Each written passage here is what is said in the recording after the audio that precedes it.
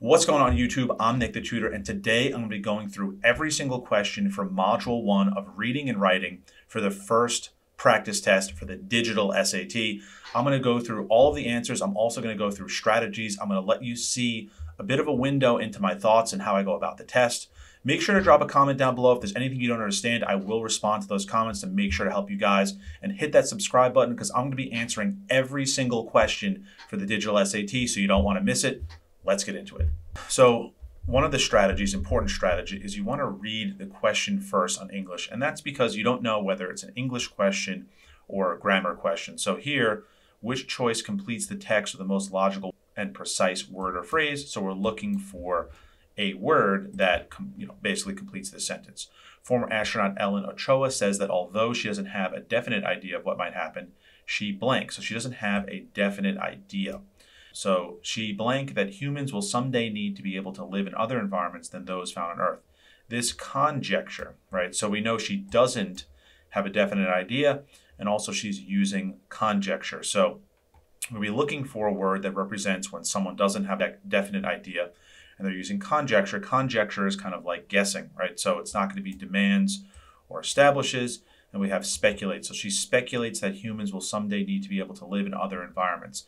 That fits the sentence. It also fits the idea that she doesn't know exactly what to do, and she also is engaging in conjecture.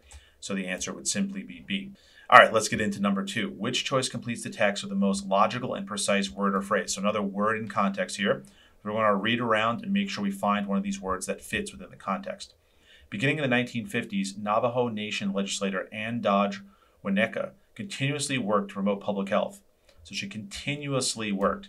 This blank effort involved traveling throughout the vast Navajo homeland and writing a medical dictionary for speakers of Diné Bizaad, the Navajo language. Apologies if I botched that pronunciation. But once again, we're looking for something that indicates that she continuously worked.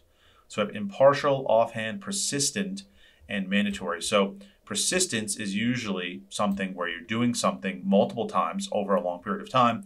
So persistent C would be the correct answer. Let's get into number three. Which choice, once again, completes the text the most logical and precise word or phrase? One thing you'll notice about the digital SAT guys is they're actually grouping questions together, even though uh, the English questions and the reading questions are intermixed. They're going to be grouping questions together, which is really important. We're going to have a bunch of these in a row, so let's get into it. Following the principles of community based participatory research, tribal nations and research institutions are equal partners in health studies conducted on reservations. So they're equal partners. A collaboration between the Crow tribe and Montana State University blank this model. Tribal citizens worked alongside scientists to design the methodology and continue to assist in data collection. So they're saying that they're equal partners, it's a collaboration, they work alongside each other, and they're giving this as an example. So this collaboration between Crow Tribe and Montana, Montana State University circumvents this model, kind of shows that this model works, right? So eclipses, fabricates, and we have exemplifies. Exemplifies sounds like example. It means that it's the perfect example for what they're talking about. So D would be the correct answer for number three. All right, let's get right into number four. Once again, we have a word in context question. Uh, the parasitic daughter plant increases its reproductive success by flowering at the same time as the host plant it latched onto. So it flowers at the same time. In 2020, uh, this person and his colleagues determined that the tiny daughter achieves this blank with its host by absorbing and utilizing a protein the host produces when it is about to flower. So it achieves this blank. This is two plants working together, one that's parasitic and then the host plant. So they work together, and they're saying that this daughter plant achieves this blank. So they're working together.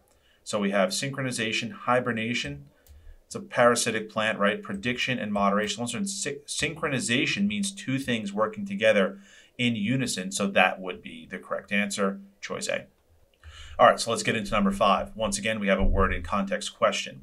Given that the conditions in binary star systems should make planetary formation nearly impossible, it's not surprising. So, something's not surprising that means they don't really um, understand what's going on, right? Because they said, given the conditions should make planetary formations nearly impossible, it's not surprising, right? So, they can't determine this. It's not surprising that the existence of planets in such systems has lacked blank explanation. So, it's lacked you know, a clear explanation, right? So we have discernible, straightforward, inconclusive, that's the reverse of what we're looking for, and then unbiased, we're not talking about bias, right? So um, it lacks a discernible explanation or it lacks a straightforward explanation. Well, they said that certain conditions make planetary formation impossible. It's not surprising that the existence of planets in such a system has lacked a clear explanation. So in this instance, the answer would be choice B, straightforward, which is better than A, discernible, which is not exactly correct based on the context. All right, let's get right into number six. Uh, once again, we have a word in context question. Seminole Muskogee director Sterlin Harjo blank television's tendency to situate native characters in the distant past.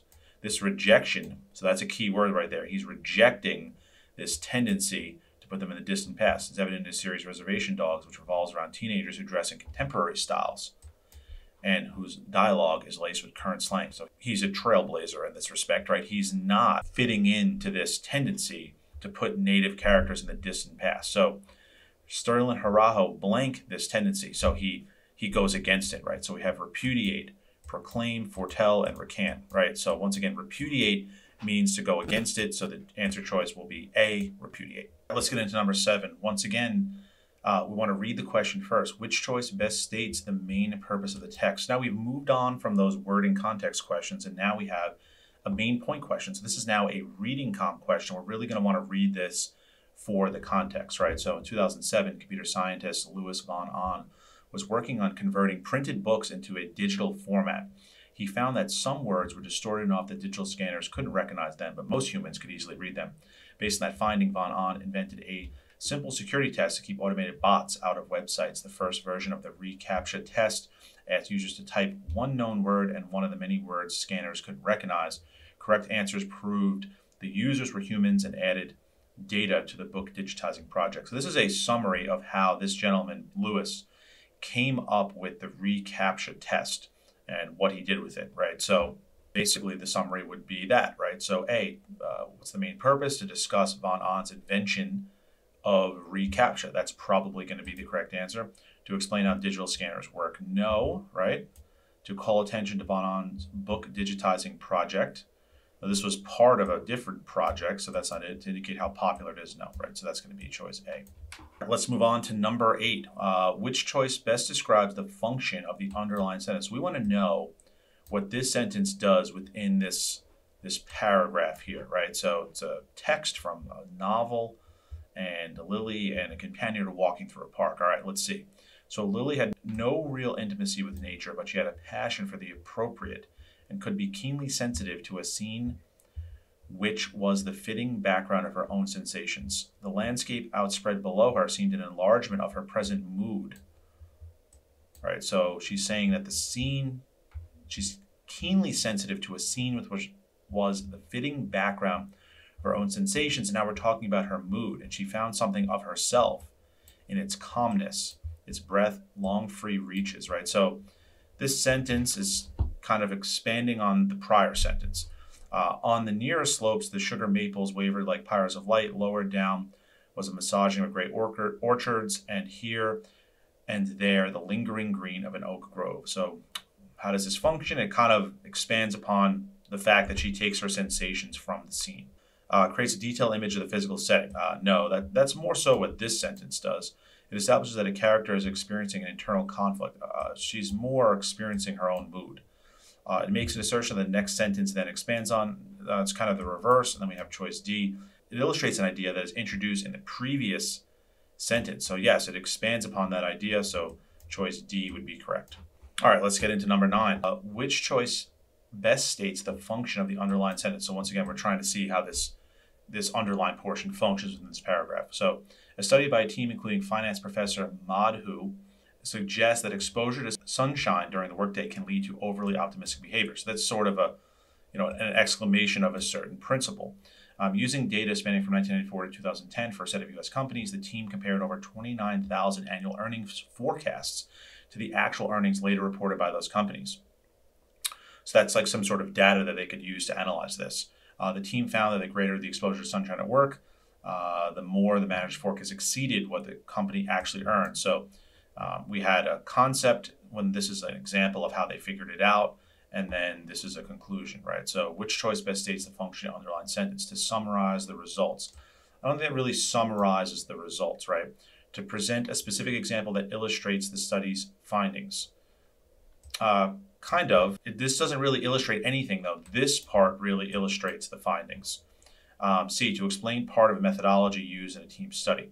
So that would probably be it because there they're kind of explaining how they, you know, captured this data on um, on earnings, and then this is more of the conclusion of what this all says, right? So I think this part, which they're asking about, would be choice C. If they ask you about this part, which they didn't, of course, that's where it probably would have been B, and then D is uh, is incorrect. Let's get into number ten. Once again, according to the text, what is true about mother? So now they're asking us something very specific about mother.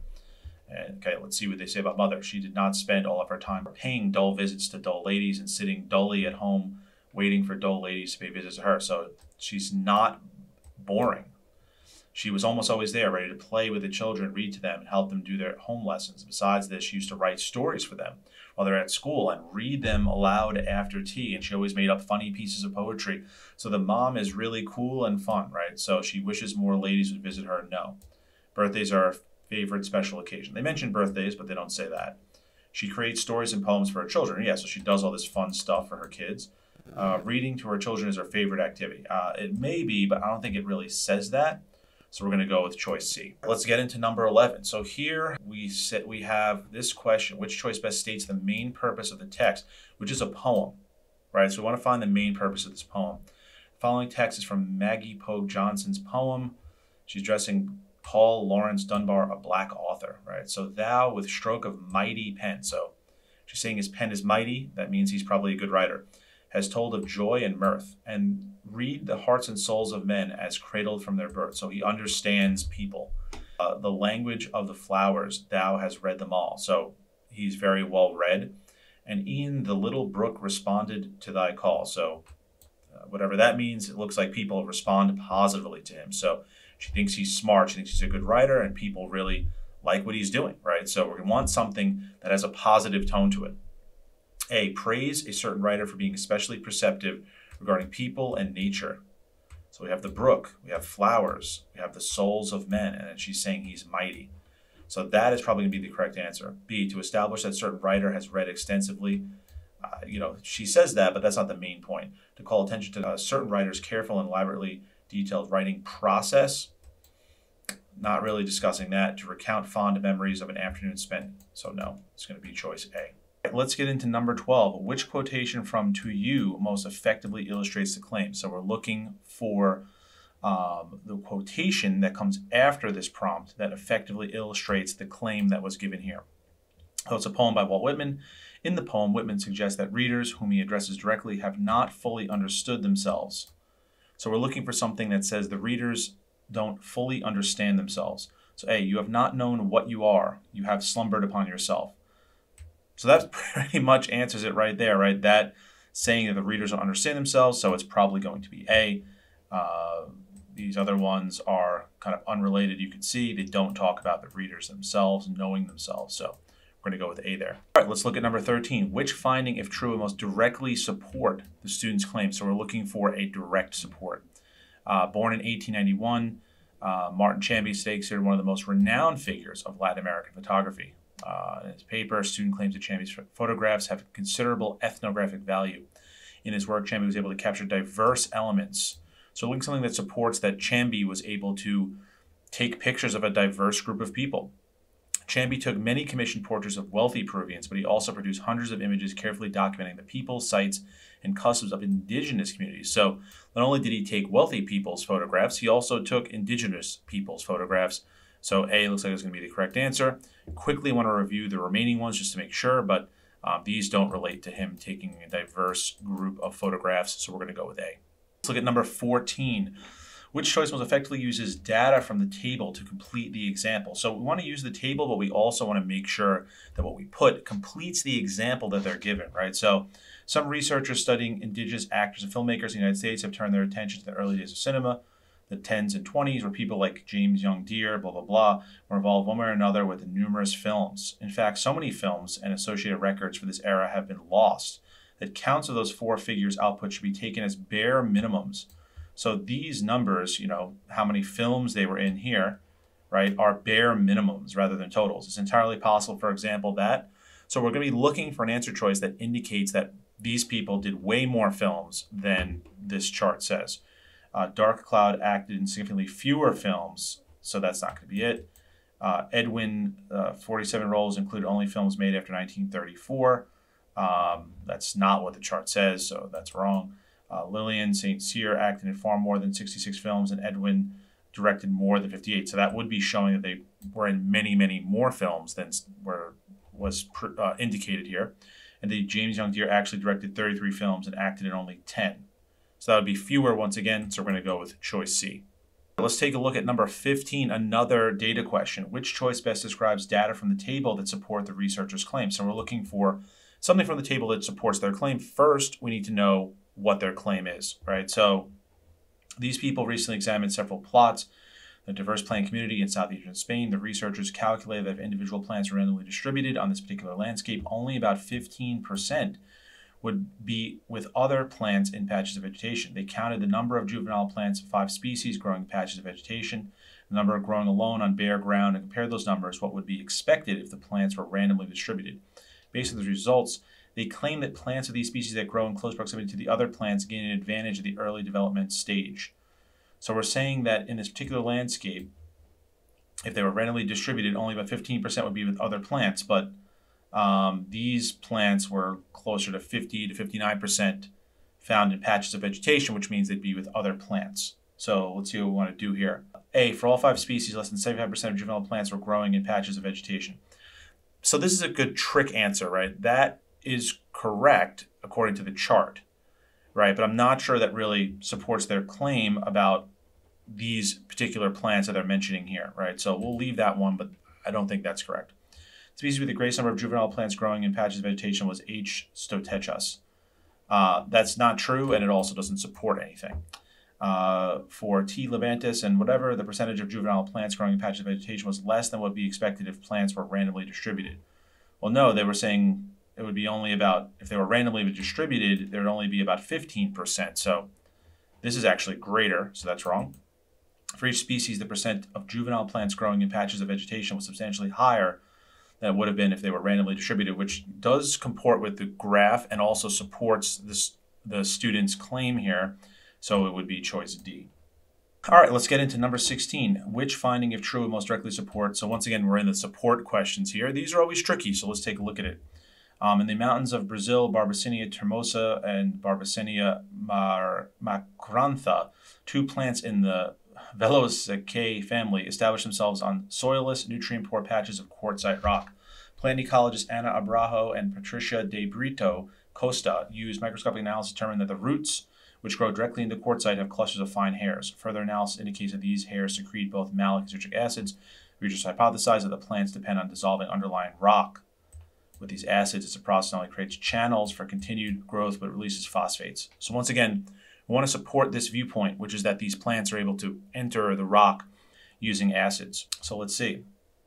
Other species in the family are found in traits. So as soon as they talk about other species, that probably means that that's not what we're looking for. I mean, that's typically it's not going to be related to the passage and it's not going to support the hypothesis. Through B. termosa and uh, both secrete citric malic acids, each species produces acids in different proportions. The proportion of acids wasn't really what mattered here, so I don't think that would support the hypothesis uh, that these plants can enter these rocks on their own. The roots carve new entry points in rocks even when cracks in the surface are readily available. Uh, that's looking pretty good. I mean, that says that they can crack into the rocks because you, you, might say, well, maybe they just enter existing cracks in the rocks, and that's why they do this. That's how they're able to do it. But you know, this passage is saying they're actually able to break down the rocks with acids. Um, so that kind of gets rid of an alternative, which is a good way to support a hypothesis. Um, and then they thrive when transferred to the surface of rocks do not contain phosphates. Phosphates, uh, phosphorus was mentioned, but that's not the main uh, point of the passage, and that wouldn't necessarily support it. So we would go with choice C. Let's get into number 17. Which choice most logically completes the text? So we're looking to complete what this passage is telling us here. Uh, herbivorous sauropod dinosaurs grow more than 100 feet long and weigh up to 80 tons, and some researchers have attributed evolution of sauropods to massive sizes to increase plant production, resulting from high level levels of atmospheric carbon dioxide. So that's what they're attributing this to. However, there is no evidence of significant spikes in carbon dioxide levels coinciding with relevant periods in sauropod evolution, such as when first large sauropods appeared. Several sauropod lineages underwent further evolution towards gigantism, or when sauropods reached their maximum known size, suggesting that this is suggesting that this carbon dioxide hypothesis doesn't necessarily work, right? So, uh, fluctuating atmospheric carbon dioxide affected different sauropods lineages differently. That's okay, right? But we wanted something that really said it didn't depend on the uh, spikes in carbon dioxide levels.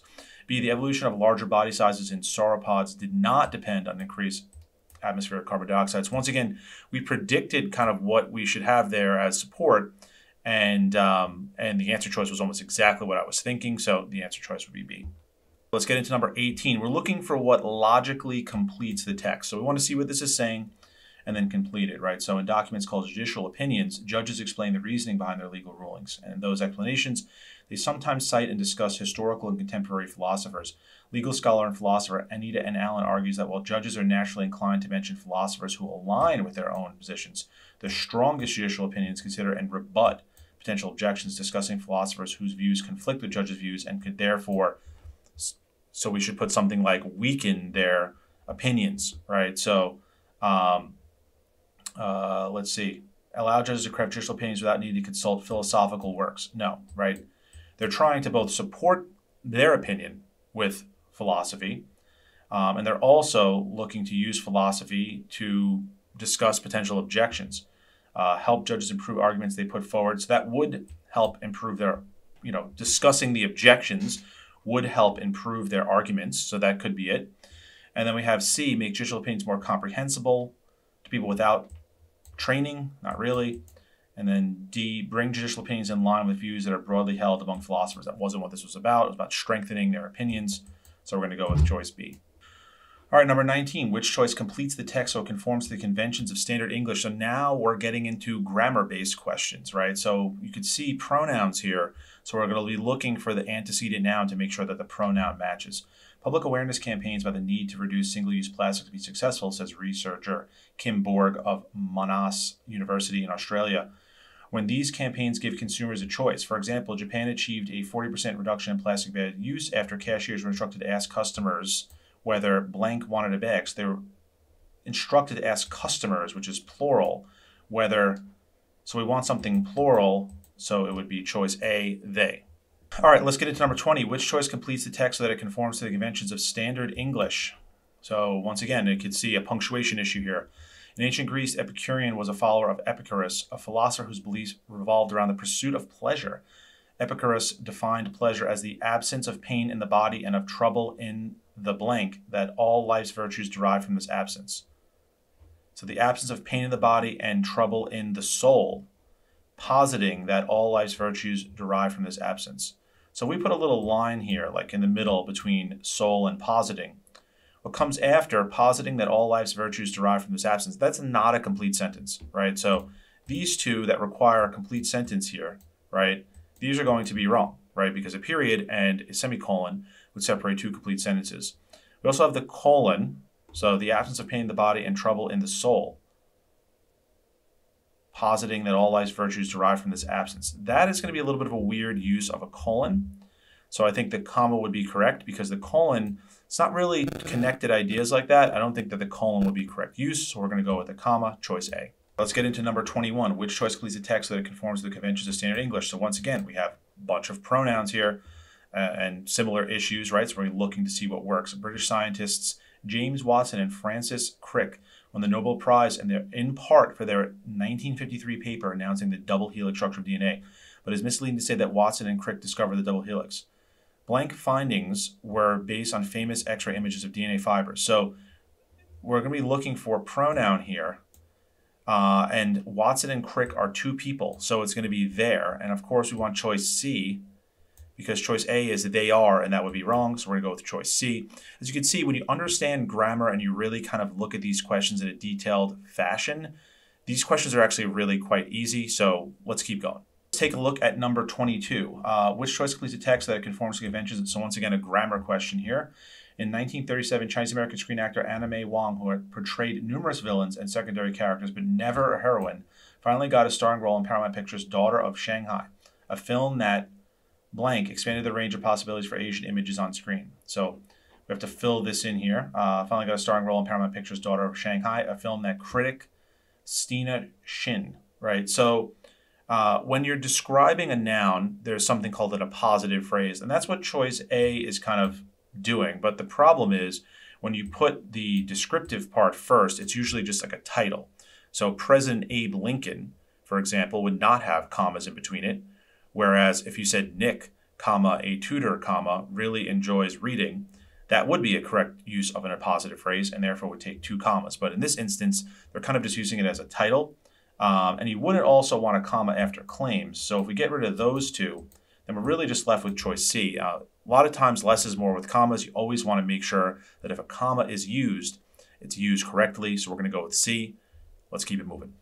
All right, let's get into the last 11 here. Number 23, which choice completes the text that it conforms to the conventions of English? So once again, we have a large set of grammar questions. You can see that the, the you know, past few and the remaining few are going to be that way until we switch over to a new type. So let's get into this one. In 1637, the price of tulips skyrocketed in Amsterdam with single bulbs of rare variety selling for the equivalent of $200,000 today, in today's US dollars. Some historians blank that this tulip mania was the first historical instance of an asset bubble. So historians, right, that's plural. Some historians claiming, have claimed, or to claim would all be wrong. Some historians claim, uh, historians is plural, so claim you drop the S, so B is correct. All right, let's move on to number 24. Uh, once again, trying to complete uh, the text with the right phrase. Here we do have uh, a few little punctuation marks, so this might be a little bit of a tricky one. Researchers studying magnetosensation have determined why some soil-dwelling roundworms in the southern hemisphere move in the opposite direction of Earth's magnetic field when searching for food. So now, if we want to evaluate whether these punctuation marks are correct, we need to see if this is a complete sentence. In the northern hemisphere, the magnetic field points down into the ground, but in the southern hemisphere, it points up towards the surface and away from worms' food sources. So that is a complete sentence right? So we have a complete sentence here. Now let's check this again. Researchers studying magnetosensation have determined why some soil-dwelling groundworms sometimes are moving in the opposite direction field and searching for food.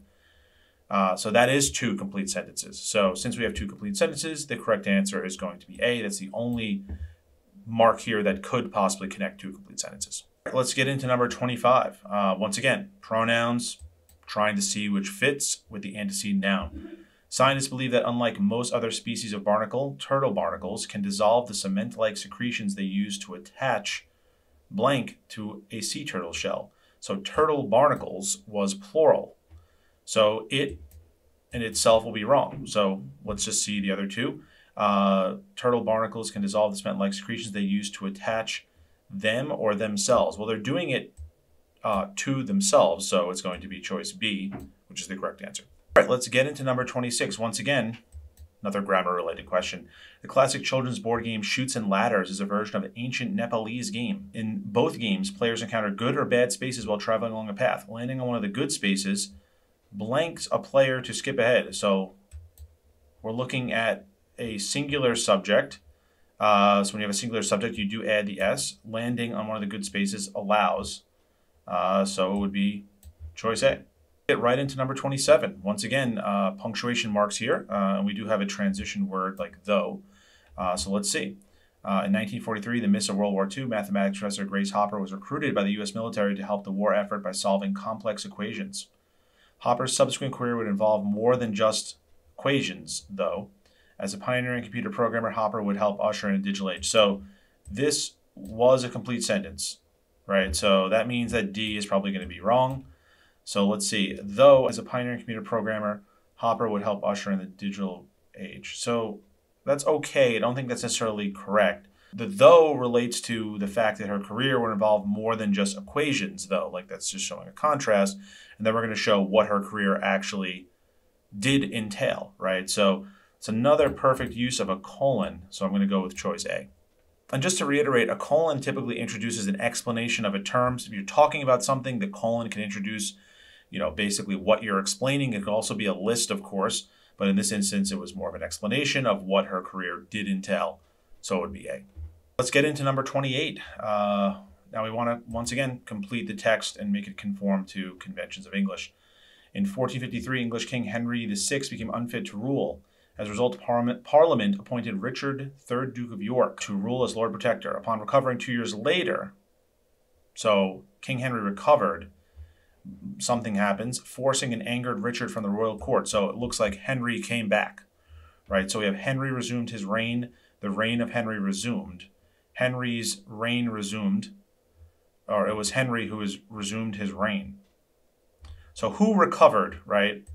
Upon recovering two years later, that's a modifying phrase that's modifying Henry, right? Because Henry is the person that recovered. You also want active voice on the SAT, right? You want subject, verb, then object. You don't want, uh, you know, object, verb, subject, uh, or some other weird mix like these. This choice in particular, right? The reign resumed. Henry resumed his reign, right? So the choice, the correct choice, could be answer A. It is in active voice, and it also connects properly with this modifying phrase. Get into number 29. So once again, transition, we want to complete the sentence with the right transition. Although novels and poems are considered distinct literary forms, many authors have created hybrid works that incorporate elements of both.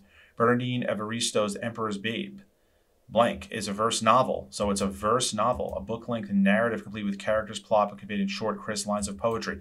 So this is an example of this poetry prose hybrid. Hybrid works right? So this is an example. So the answer is going to be D, for example. All right, let's get into number 30. Uh, once again, transition word, complete the phrase. At two weeks old, the time their critical socialization period begins, wolves can smell, but cannot yet see or hear. Domesticated dogs, blank, can see, hear, and smell by the end of two weeks. So that is a big difference between wolves and dogs. So some would call that a contrast, right? Wolves can't do this, dogs can. So I think we're going to go with choice C by contrast because they're talking about two different things. So I'm going to go with C. All right, let's get into number 31. Researchers blank, blank, and blank report that while mathematicians may have traditionally worked alone, evidence points to a shift in the opposite direction. So mathematicians working together.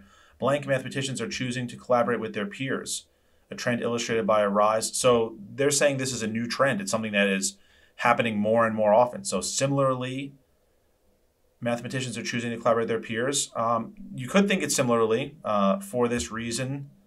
Well, they're not doing it because people told them to collaborate with their peers. It's just happening, right? Uh, furthermore, doesn't seem too good. So we have increasingly mathematicians are choosing to collaborate their, with their peers. That would show a trend in, in that direction that they were indicating in uh, the prior sentence. So I think I'm going to go with D over A increasingly right, let's get into number 32. Now we're faced with a different type of question here. This is a very common question at the end of the English section here, right? We're going to have this note-taking question, and here they, it says the student wants to present the study and its findings. Which choice most effectively uses relevant information from the notes? So from my experience, typically these questions are basically just a summary of these notes. The wrong answer choices will just be like one line of the notes, whereas, you know, the correct answer choice is going to basically encompass a majority of these, right? So petrosaurs were flying reptiles. Uh, 2021 study, this person analyzed fragments of the jawbones. She was initially unsure if the bones belonged to juvenile or adults. She used microscope techniques to determine that they had few growth lines.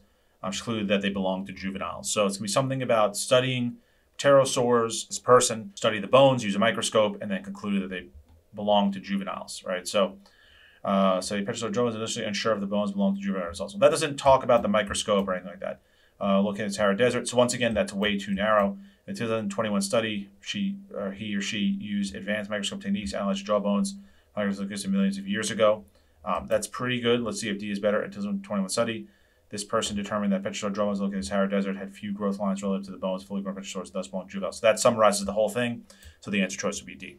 All right, let's get into 33. Once again, we have this note-taking summary question. It's just going to be the one that summarizes the notes in there entirely, right? So which choice most effectively uses relevant information from the notes? The student wants to compare two women's contributions. So we're looking for the one that fully compares two women's contributions. So African American women played prominent roles in the civil rights movement, including the March on Washington. Civil rights activist Anna Hedgeman, one of the march organizers, political advisor, worked for President Truman uh, Daisy Bates. So here's the second person. Um, she was a journalist and advocate for school desegregation.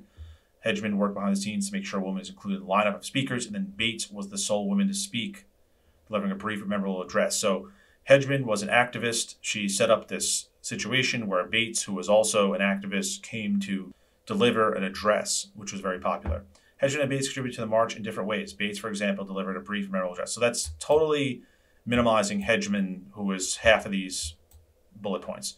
Hedgeman worked in politics, helped organize the march, while Bates was a journalist and school desegregation advocate. That doesn't really talk about her speech, which is these last few lines, right? Hedgeman worked to have a speaker, and then Bates was the speaker, right? So I think that's wrong. See, although Hedgeman worked behind the scenes to make sure a woman speaker was included, Bates was the sole woman to speak at the march. That's pretty good. It encompasses Hedgeman's work. It also encompasses Bates' work. So I'm going to say C is probably correct. The many African American women, including Bates, Hedgeman, fought for civil rights, but only one spoke at the march. That's too vague. It doesn't talk about the work that they did, so I'm going to go with choice C. All right, guys, that's it. I finished every single question on Module 1. Make sure to hit that subscribe button because I'm going to be dropping answer explanations for every single question that the College Board releases for the digital SAT. So if you want to improve your score and you want to get better at the SAT, make sure to hit that button. I'll see you guys in the next one. Peace.